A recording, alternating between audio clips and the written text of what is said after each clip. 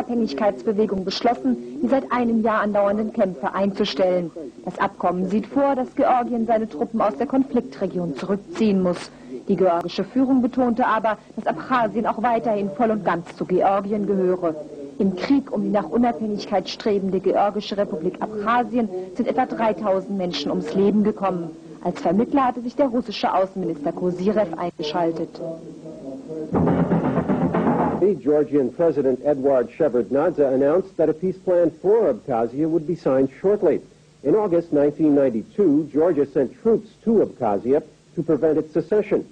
Georgian sources say more than 3,000 people have been killed in fighting against the rebels who control much of the region. Opponents of President Boris Yeltsin's a fragile ceasefire agreed three weeks ago in the former Soviet Republic of Georgia is now in danger following an attack by government troops on three rebel villages late last night. Law and order across the country has broken down after a year of fighting between Georgian forces and guerrillas in breakaway Abkhazia. The battle for the capital Sukhumi has left the city without electricity, fuel or water. So far, the war has claimed more than 4,000 lives. The political survival of Georgia's President Eduard Shevardnadze could now depend on his ability to maintain the peace agreement. Paul Simpson reports from Georgia on a conflict which threatens the country's hopes of a democratic future. Georgian soldiers heading to the breakaway republic of Abkhazia. There, a shaky ceasefire is holding after a year of civil war. But neither the Georgians nor the Abkhazians are taking any chances and both are keeping their armies up to strength. These men were dispatched to the only remaining Georgian stronghold in Abkhazia, the regional capital, Sukhumi.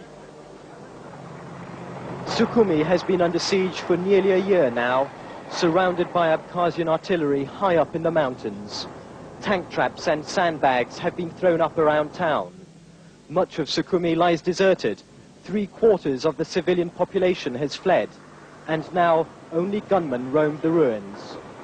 Law and order has collapsed, and large sections of Sukhumi are controlled by armed gangs. We heard accounts of appalling atrocities committed by what the local people described as bandits, accounts of looting, murder, and rape. Even the local army commander needs a special bodyguard when traveling around town. I've had to issue an emergency decree to restore order, he said. After a year of heavy shelling, few buildings have been left intact. There's been no water or electricity here for 10 months. Drinking water is collected from seven kilometers away by the few residents who remain, and they plunder the city's parks for firewood. Along the front line, some people still live in the shells of their houses. This woman's home has been hit several times by mortar fire. She's chosen to stay here to guard her few possessions from the gunmen. Many in the Georgian army oppose the ceasefire. They want to fight on to recapture lost lands, and their anger is directed at the Georgian leader, Eduard Shevardnadze.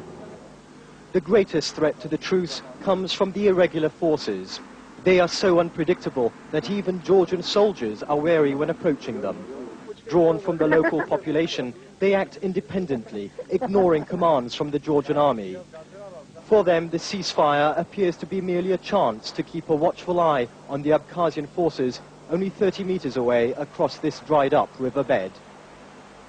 This is the front line of the battle for Sukhumi, and it's here that the ceasefire is being most frequently broken.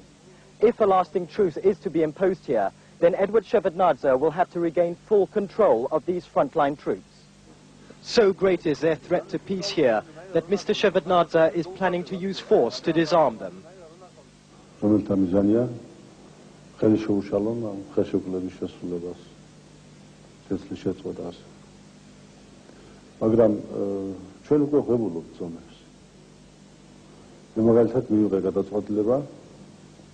და გავაგზავნე აფხაზეთში ძალიან ძლიერი რაზმი, მრავალი ცხოვანი არ არის, მაგრამ ძლიერი რაზმია ეს 150 კაცი, რომელსაც უნდა განაიარაღოს ზოგიერთი აი ეს არაფორმალური უკანონო შეერაღებული ფორმირებები. Those armed units are a threat to Mr. Shevardnadze's position, but there are threats closer to home, on the streets of the capital Tbilisi, from restless soldiers returning fully armed from the Abkhazian battlefields. Barely an hour goes by without the sound of gunfire across town.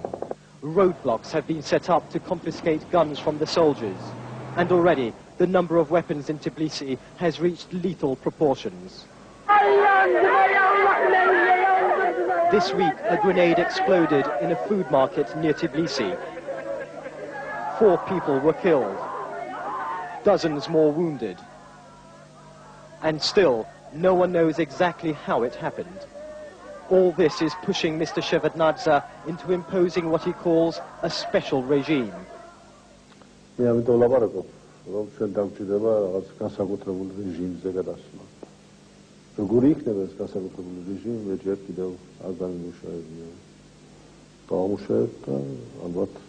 საზოგადოებას შევთავაზებთ განსაკუთრებულ ღონისძიებებს. ეს ყველა ომის შემდეგ იწყება ეს გართულებები, რომელზეც თქვენ ლაპარაკობთ, მათ შორის არც საქართველოს იქნება გამონაკლისი, ჩვენ ეს ვიცით, Mr. Shevardnadze may yet be forced to take even harsher measures to safeguard his rule. In the Georgian parliament, there is no shortage of politicians prepared to harness the anger of returning soldiers and mount a challenge to the government. They share the military's view that the ceasefire is a betrayal. Their battle cry is that Georgia should fight on to reclaim the lands lost in the war. მე ვიცი რომ ასეთი განწყობილებები არის არა მარტო ჯარისკაცებში და არა იმდანაც ჯარისკაცებში სხვათა შორის. ჯარისკაცებმა იციან რა არის ეს ომი და რამდენი სიცოცხლე შეეწირა მას. უფრო მეტად ეს სირთულეები არის პარლამენტში და საზოგადოების გარკვეულ ნაწილში. A small advance party of United Nations observers has arrived in Abkhazia. They are preparing for the arrival of a full UN monitoring force. Already they are doubtful the ceasefire arrangements can be fulfilled. It uh, concerns or revolves around the withdrawal of artillery and uh, heavy equipment and also forces. So they have a plan, but if they will be able to follow that, that plan besides, I doubt it. The ceasefire has already been broken many times, and the wounded continue to arrive from the front lines. The war in Abkhazia has almost bankrupted the Georgian economy. Peace here will give Georgia another chance to find political stability, but at present there seems little chance of that. The men intent on sabotaging the ceasefire will not easily surrender their weapons. Paul Simpson, Channel 4 News, Sukhumi. Tonight's main news again. The Bosnian... Abazya parlamentosu Gürcü kuvvetlerinin Abazya'nın Nizne Eşeri bölgesine topçu ateşi açtığını ileri sürerken Gürcistan Savunma Bakanlığı da Abazaların Sukumi'yi top ateşine tuttuğunu iddia etti. Siyasi gözlemciler son gelişmelerin 11 aydır devam eden çatışmaları sona erdirmek için dün Rusya'nın aracılığıyla imzalanan ateşkes anlaşmasının uzun süreli olamayacağı endişesini gündeme getirdiğini belirtiyorlar. Rusya'nın güneyindeki Soçi kentinde imzalanan ateşkes anlaşması Gürcü ve Abaza kuvvetlerinin bölgeden çekilmesini ve Birleşmiş Milletler gözlemcileri gönderilmesini öngörüyor.